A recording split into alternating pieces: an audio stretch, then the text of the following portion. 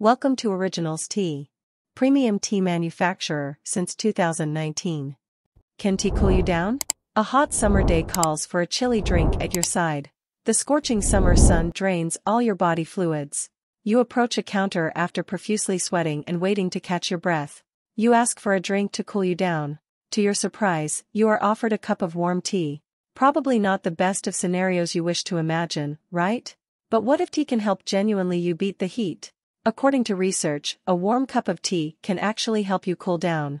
Although it sounds ironic, it is true. Can tea cool you down? Yes, drinking hot tea can actually cool you down although that sounds quite unbelievable. The key to this is profuse sweating. A hot cup of tea increases the overall body temperature and thereby increase the process of sweating. Sweat evaporates and ultimately reduce the overall body temperature. People tend to think that hot tea when sipped in, goes inside and produces more heat in the body, so how does it cool you down?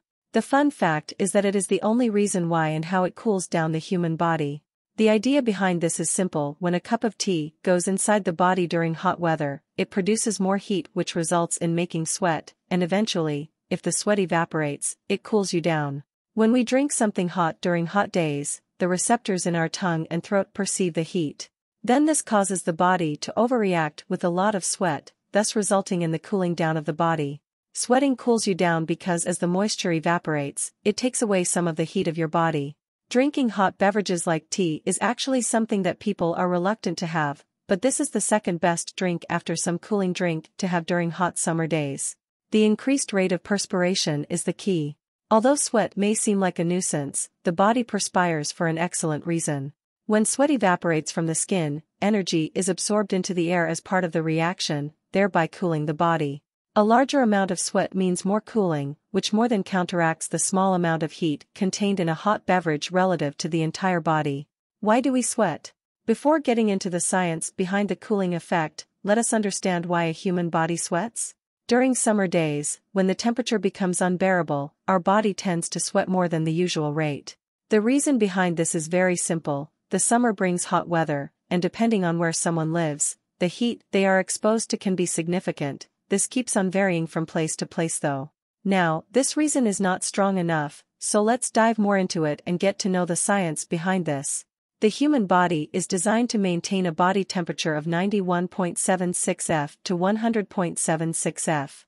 When we are exposed to temperature higher than our body's standard temperature, our body undergoes a process to cool down and maintain the normal body temperature, and this is done by producing sweat from the body. This process is termed as thermoregulation. When a person is exposed to high temperatures, the brain senses that a person's initial body temperature is beginning to rise in response to the environment outside, thus it activates the sympathetic nervous systems responsible for starting automatic bodily functions. Eccrine sweat glands are located all over the body, and they are where sweat is produced and pumped onto the surface of the skin. There is another type of sweat gland, called apocrine sweat glands.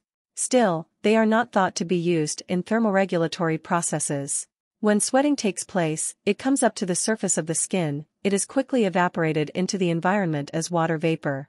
Thus, when sweat leaves the skin, it carries heat energy in it which was actually inside our body and giving us a cooling effect. Soon after the body starts cooling down, the brain sends signals to the sweat glands to stop producing sweat further. Very few people know this, but the fact is that sweating also responds to our emotional state. When we are nervous, anxious, or afraid, there is an increase in sympathetic nerve activity in our body as well as an increase in epinephrine secretion from your adrenal gland. How does the sweat cool down the body? Sweating is also known as perspiration, helps regulate body temperature. There are two types of sweat glands in the body, namely eccrine glands and apocrine glands. The eccrine glands are all over the body and release clear liquids directly through the ducts on the skin surface. Apocrine glands are located deep in the layers of the skin and are driven by adrenaline. Eccrine glands react to temperature in an effort to cool the body. This can leave a white residue behind, especially on clothing, due to the sodium this contains. Sweat only evaporates in an environment where there isn't much water in the air. In a place with high humidity, there are already lots of water molecules in the air, so the sweat won't evaporate much because the humid air can't hold more water molecules. But in a drier environment, like Davis, your sweat has a better chance of evaporating quickly and taking away your body heat. As more sweat evaporates from your body, the air close to you becomes more humid, making it harder for your sweat to evaporate. One important thing to keep in mind about sweat is hydration. Suppose an individual sweats more during hot weather. In that case, this means his her body is releasing water at a faster rate than usual to cool down the body. If that water is not replaced in the body, then it can lead to dehydration. Dehydration means that our body has not much water to function properly, and if there is a shortage of water for longer, then an individual might fall sick. So when you sweat, make sure to replenish the body's water level.